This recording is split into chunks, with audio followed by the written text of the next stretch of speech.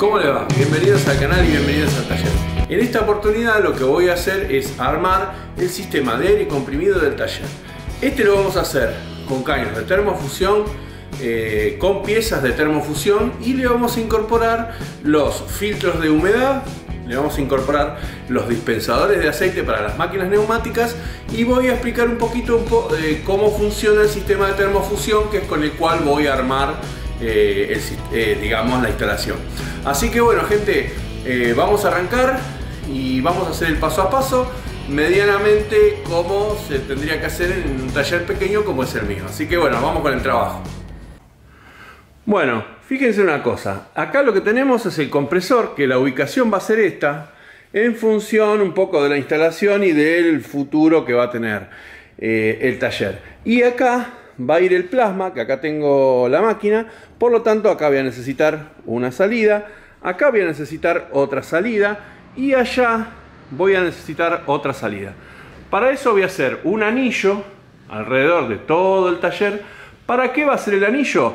Para que la instalación tenga en todos lados la misma presión. Voy a tratar de que quede y que vaya, como trabajo solo, en este ancho, esta altura, perdón, en este ancho y en esta altura, y va a circular por todo el taller. Así que lo que primero vamos a hacer es poner el nivel y ver cómo nos da esto que estoy comentando.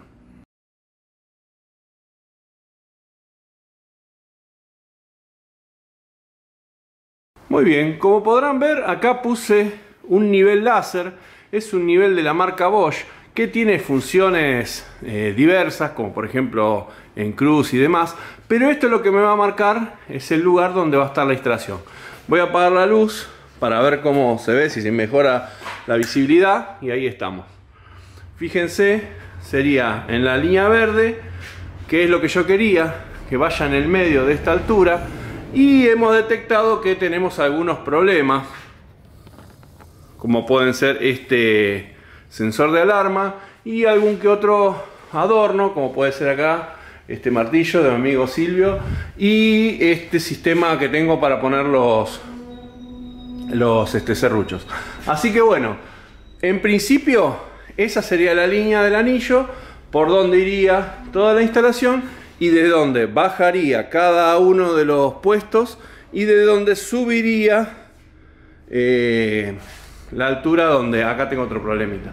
Así que de subiría la subida del sistema.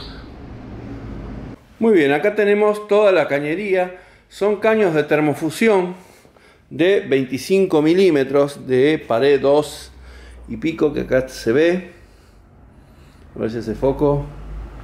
Bueno, este es el caño.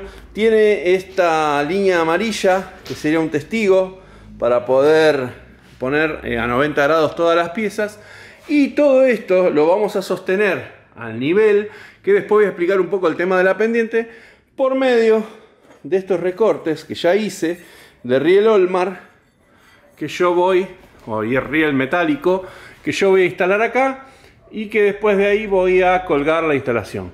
Así que bueno, primero vamos por partes, sacamos lo que nos molesta, que, está interrumpiendo el, digamos, recorrido de la instalación y después volvemos para instalar esto. Bueno, ya pude retirar y cambiar de ubicación el sensor, retiré todos los obstáculos que tenía en el recorrido de la cañería y de la bajada que iba a ir acá.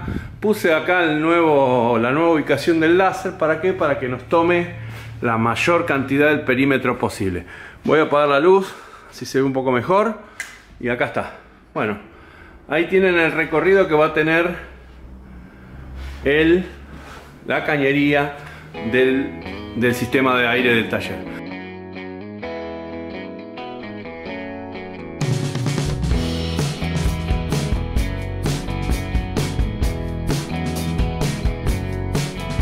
Una cosa que nos pasa acá en las paredes del taller es que allá tenemos mampostería de ladrillo común, mampostería de ladrillo hueco y acá tenemos mampostería o en realidad tenemos un tabique o un taparrollo de placas de yeso. ¿no? Eso significa que lo que vamos a tener que hacer es buscar la estructura a donde poner los tornillos que van a soportar eh, la instalación. Para eso vamos a usar una herramienta que le vamos a mostrar ahora. Muy bien, para saber dónde está la instalación de digamos, la estructura del tabique de placa de yeso, lo que vamos a usar es este escáner de la marca Bosch. Es un escáner que por ultrasonido nos permite, nos va a determinar la ubicación de la estructura. Así que lo que vamos a hacer es este, setear, ahí ven las opciones, y lo vamos a poner en esta, tabiquería ligera. Una vez que lo tengamos ya seteado, lo que vamos a hacer es pasarlo por acá, a ver, y si se fijan, ahí va a encontrar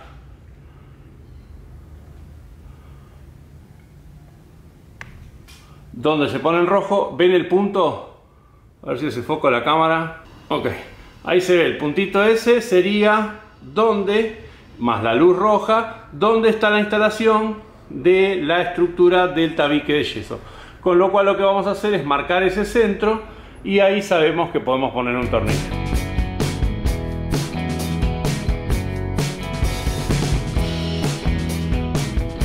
Bueno, acá ya verán, tengo marcado donde voy a querer poner todas las, las grampas o los rieles. Acá lamentablemente se me va a arruinar la calco. Pero bueno, eh, ya lo tenemos listo para empezar a, a colocar las grampas. Traté de encontrar lugares donde acá voy a tener que poner un codo, entonces por ahí eh, voy acomodando. Así que bueno, arrancamos con la colocación de las grampas y después eh, empieza la termofusión. Ya tenemos todo instalado, eh, la parte digamos de las grampas, de donde se van a sostener estos caños. Así que bueno, ahora lo que queda es armar una estrategia para el armado de los tendidos porque solo esto es muy grande y este, complica un poco eh, la situación. Así que bueno, eh, a diseñar la estrategia, a tratar de armar tendidos los más largos posibles, uniendo estas piezas por medio de termofusión, que ahora les voy a mostrar cómo, cómo es que funciona y cuáles son algunas de las características que tenemos que tener en cuenta. Bueno, ahora lo que vamos a hacer es en principio les voy a explicar cómo funciona el sistema este de termofusión. Las piezas de termofusión pueden ser como esta, todas de plástico, o bien mixtas, como por ejemplo esta, que tiene, a ver si toma foco, que tiene plástico y para después un sistema con rosca para después atornillar algunos accesorios. Bueno, antes de empezar con este trabajo, lo que tenemos que entender es lo siguiente. Cada marca tiene distintas especificaciones. En este caso, la marca es Polimex de este tipo de caños. El modelo se llama Azul Fusión. Y dice que hay que calentar esta máquina de termofusión a 260 grados. Y que tenemos que insertar la pieza esta dentro del caño 1.4 centímetros. Así sería algo aproximado. Para eso después vamos a hacer una marca. Y otra cosa que tiene es el tiempo que vos tenés que tener metido tanto esta pieza, que es el macho para lo que sería este tipo de conexionados, o en este caso este agujero que va invocándose esta pieza, que es de 5 segundos. 5 segundos y eso está en la página de la marca. 5 segundos en el tiempo, en la temperatura de 260 grados, que lo vamos a decir desde acá, y después 4 segundos sosteniendo la quieta a la pieza hasta que ya quede totalmente fusionada. Todas las piezas que son así, como codos o estas, tienen acá una marca que nos permite a nosotros saber en qué línea estamos trabajando. Utilizando esta línea amarilla vamos a saber, por ejemplo, si alineamos una marca a la línea amarilla que está recta y si tuviésemos que girar 90 grados, hacemos que esta línea amarilla coincida con la siguiente marca que tiene el accesorio. Así que bueno, vamos a diseñar un poco la instalación y vamos a empezar con los cortes que se hacen con una tijera especial que ahora se las voy a mostrar. Bueno, esta es la tijera que nosotros vamos a usar para realizar los cortes de este tipo de cañerías. Tiene un sistema de crique que acá podrán ver, ahí empieza a cortar y nos va a permitir cortes prolijos y sin rebabas para no tener que aumentar el tiempo de trabajo este, que tenemos que hacer al momento de realizar todos los cortes.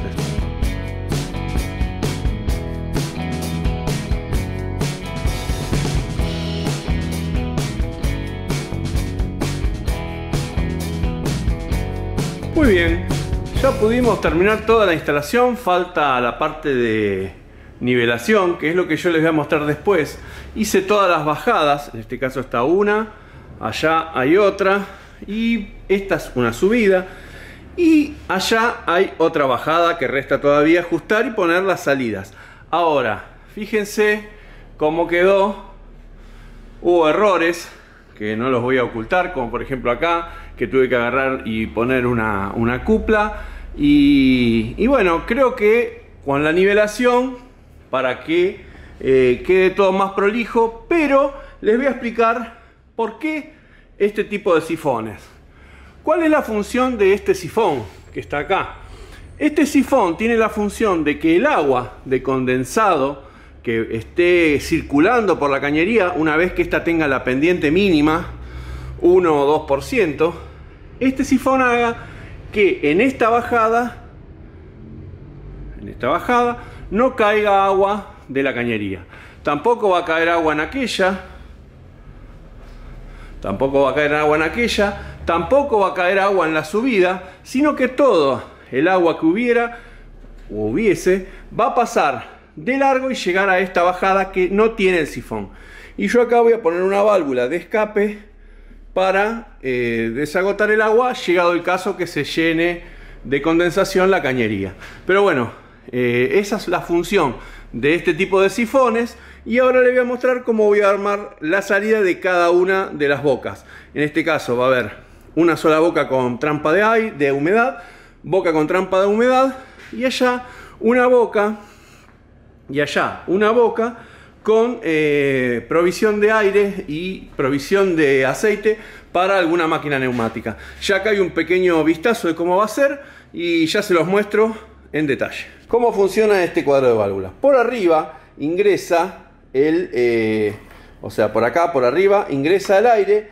Esta es una válvula que cierra la totalidad del circuito y una vez que esta válvula está abierta, obviamente esta válvula tiene que estar cerrada y acá vamos a tener aire a toda potencia, a la máxima potencia de los 10 bares que va a entregar el compresor y acá vamos a tener una trampa de agua con una salida de acople rápido con regulación de presión.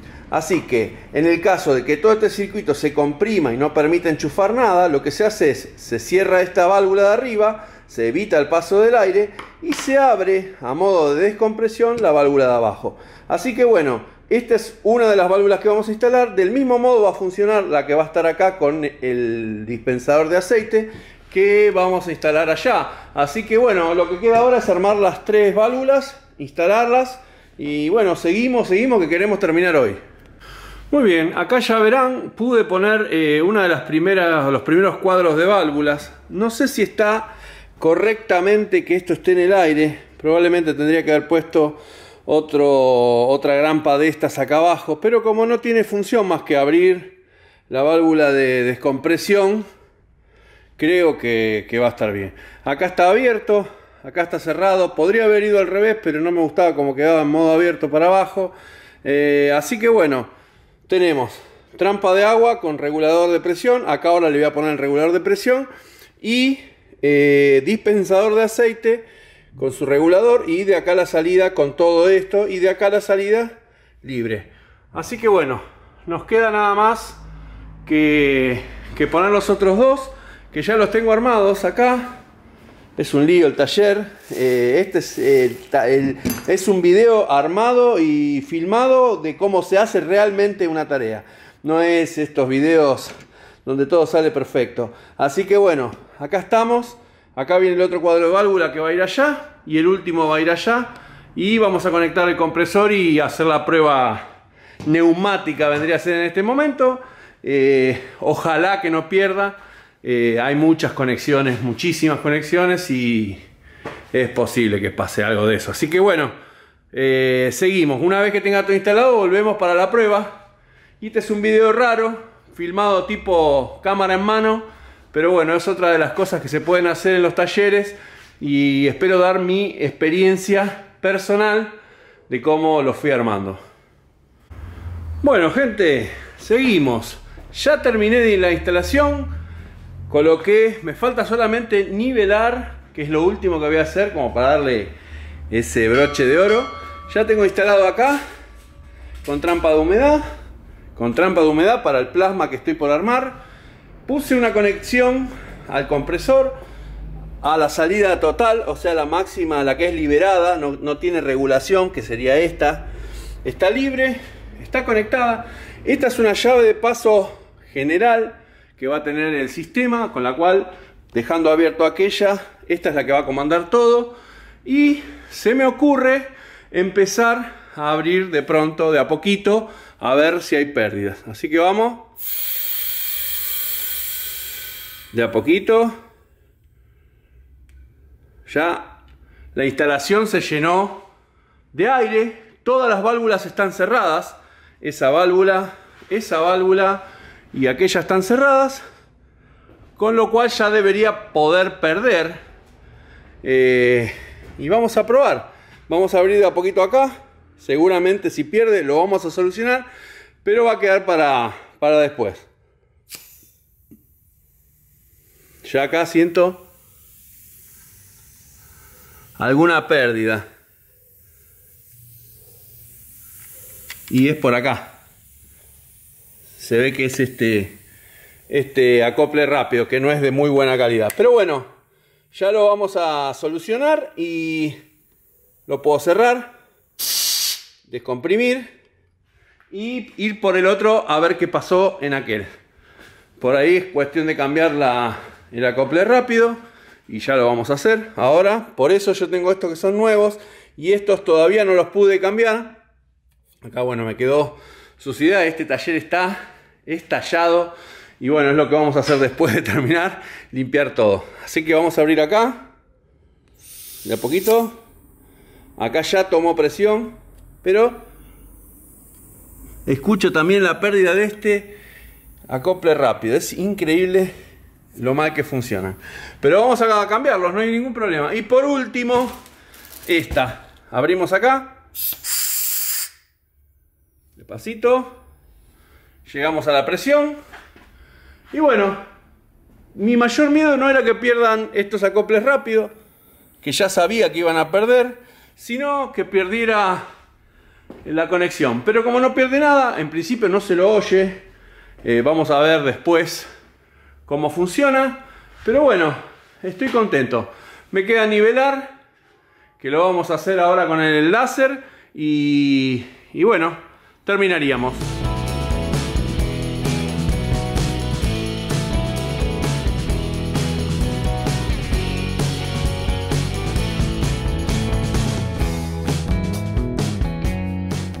Gente, espero que les sirva, que les haya gustado el video. Eh, sé que no tiene una filmación del estilo de zoom sobre el tornillo y esas cosas, pero simplemente quería demostrar cómo se puede hacer una instalación de aire comprimido en nuestros talleres con las herramientas y con los sistemas que se venden, por ejemplo, acá en Argentina.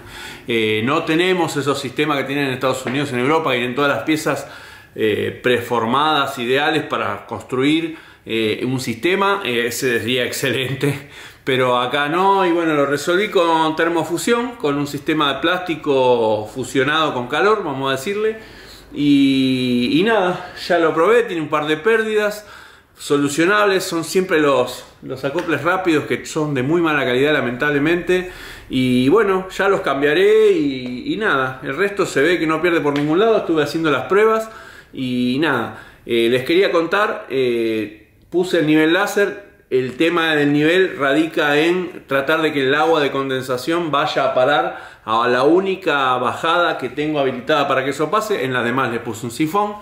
Y, bueno, tardé exactamente para este taller que tiene 50 metros cuadrados en hacer el anillo, exactamente 10 horas de trabajo.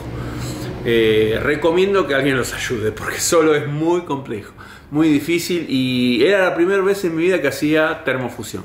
Así que gente, bueno, nos vemos en la próxima. Eh, la próxima va a ser el plasma CNC que estoy armando. Así que bueno, eh, nos vemos. Suerte, gracias por, por acompañarnos. Ay, si pueden suscríbanse, denle like y todas esas cosas que uno pide. Gente, nos vemos la próxima. Hasta luego.